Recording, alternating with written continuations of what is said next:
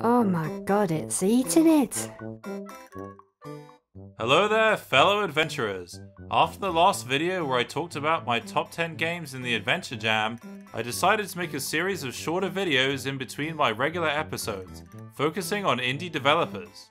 In this first installment, we're playing Yorkshire Gubbins, developed by Charlotte Gore of the Starefall Institute for the Study of Phantasms and Simulacra. Her latest game, Aye Fair Lady, ranked number 1 in the Adventure Jam, and seeing as Yorkshire Gubbins is 40% off in the Steam Summer Sale, it's the perfect time to get your Gubbins on. So what is a Gubbins anyway? Well, it's Northern English speak for a collection or assortment of unconnected items. As we'll find out though, the games in the Gubbins collection are very much connected. I recommend starting with Verb School, especially if you're not so familiar with how to play adventure games. For the princely sum of 20p, you can be taught what's known as the 9 sacred verbs by a robot.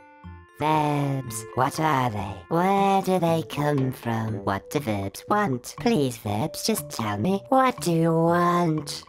So what do verbs want? Well, they really want you to click on them and then on something to interact with. I am looking at you. No, you can't. This is the foundation for pointing and clicking your way through the game.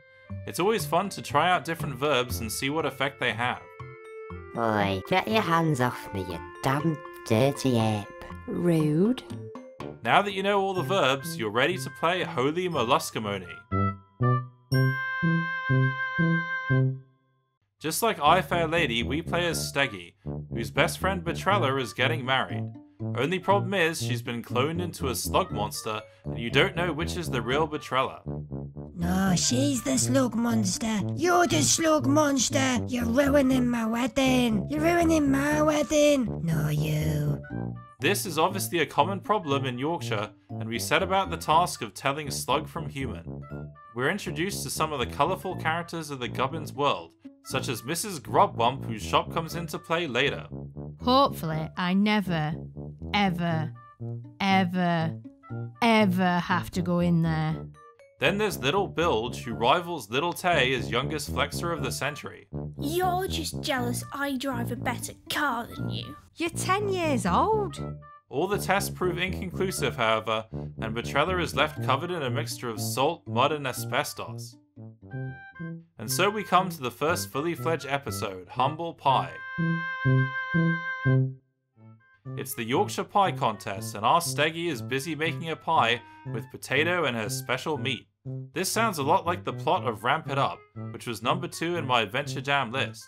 The developer Trolls Plymart also happens to be one of the voices in the game. I'm not entirely sure, but I believe he plays the wannabe vampire that runs a printing and trophy shop. Welcome to Walter Print, the home of great value, not witches. As fate would have it, our friend Betrella has stolen our special meat because of our previous actions at the wedding. And in true adventure game tradition, we must accomplish various tasks to get the meat back. One task involves bringing balance to the cosmic scale of normality The Kuskravnuga.